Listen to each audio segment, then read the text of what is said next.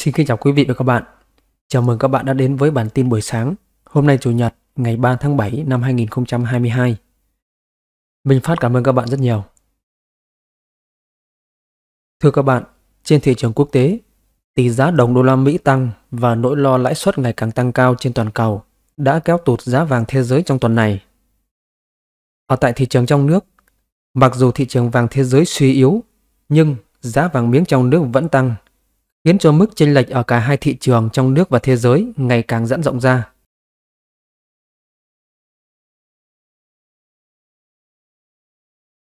Cụ thể, sáng nay, giá vàng SJC tại thành phố Hồ Chí Minh niêm yết chiều mua vào ở mức 68 triệu 200 000 đồng một lượng và bán ra 68 triệu 800 000 đồng một lượng. Tại Hà Nội, giá vàng đang niêm yết tại mức 68 triệu 200 000 đồng một lượng và ở chiều bán ra 68 triệu 820 000 đồng một lượng. Mức giao dịch giữa chiều mua và chiều bán của vàng SJC là 600 000 đồng một lượng. Cùng tại thời điểm, tập đoàn vàng bạc đá quý Doji niêm yết giá vàng mua vào và bán ra tại thành phố Hồ Chí Minh ở mức 68 triệu 200 000 đồng một lượng, còn ở chiều bán 68 triệu 800 000 đồng một lượng.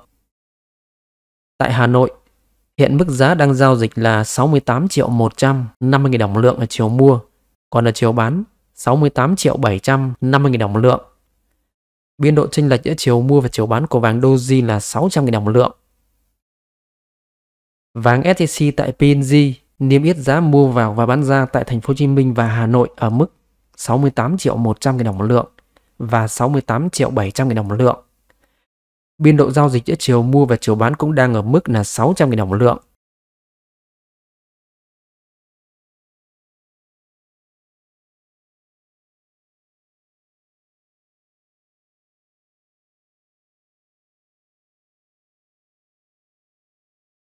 Giá vàng SJC ở các tổ chức lớn Tại Phú Quý SJC ở chiều mua hiện đang có mức giá 68 triệu 200 000 đồng một lượng, chiều bán 68 triệu 800 000 đồng một lượng.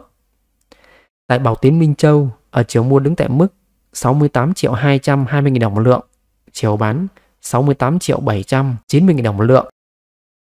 Còn tại Mi Hồng SJC ở chiều mua hiện đang có mức giá 68 triệu 200 000 đồng một lượng, chiều bán 68 triệu 600 nghìn đồng một lượng.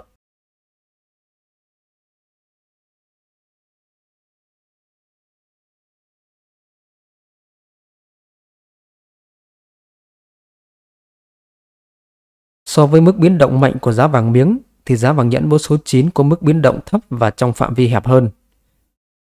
Cụ thể, hiện tại ở chiều mua đang giao dịch tại mức từ 20 triệu 587 000 đồng một lượng đến 53 triệu 250 000 đồng một lượng. Còn ở chiều bán, hiện đang giao dịch với mức giá từ 22 triệu 587 000 đồng một lượng đến 54 triệu 200 000 đồng một lượng.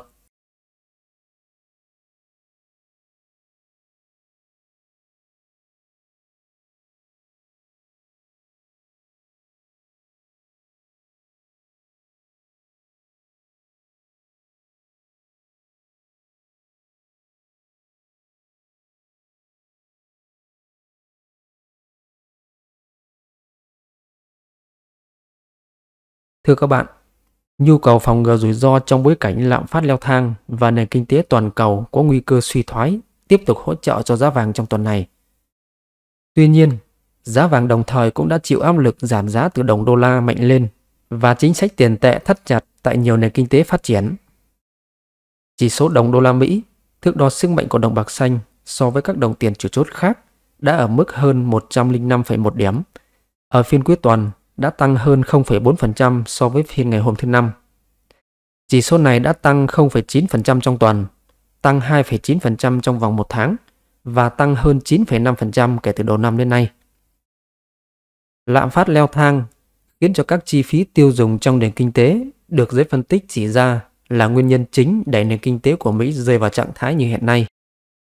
Nhưng không chỉ tại Mỹ, hầu hết các nền kinh tế lớn ở châu Âu, lạm phát cũng đang tạo ra áp lực rất lớn lên tăng trưởng kinh tế. Thậm chí đã có những cảnh báo về nguy cơ suy thoái kinh tế đến sớm nếu việc cung cấp khí đốt từ Nga bị gián đoạn. Mặt khác, thị trường chứng khoán quốc tế biến động trái chiều khiến một phần dòng tiền từ cổ phiếu đã chảy vào thị trường vàng, hỗ trợ cho sự phục hồi của giá vàng thế giới phiên cuối tuần. Tại khu vực sử dụng đồng euro, lạm phát lập kỷ lục mới trong tháng 6, củng cố khả năng Ngân hàng Trung ương châu Âu ECB bắt đầu tăng lãi suất từ tháng 7 này. Tỷ giá đồng đô la tăng và chính sách tiền tệ thắt chặt cũng chính là những nhân tố chính khiến cho vàng tụt giá trong tháng 6. Giá kim loại quý này đã giảm hơn 7% trong tháng 6, tăng 5% trong quý 2 và giảm khoảng 1% trong nửa đầu năm nay. Tuần này đã là tuần giảm thứ ba liên tiếp của giá vàng. Hiện, sức mạnh của đồng đô la đang là yếu tố gây áp lực giảm mạnh nhất lên vàng. Bức tranh lớn hơn là lãi suất tăng. Ngoài lợi thế lãi suất, đồng đô la còn đang hưởng lợi từ nhu cầu nắm giữ đồng bạc xanh như một tài sản an toàn. Đều là những vịnh tránh bão truyền thống, nhưng đồng đô la dường như đang phát huy vai trò này tốt hơn vàng. Trong một diễn biến khác, Ấn Độ, nước tiêu thụ vàng lớn thứ nhì trên thế giới, vừa nâng thuế nhập khẩu vàng lên 12,5% từ mức 7,5% trong nỗ lực giảm thâm hụt thương mại.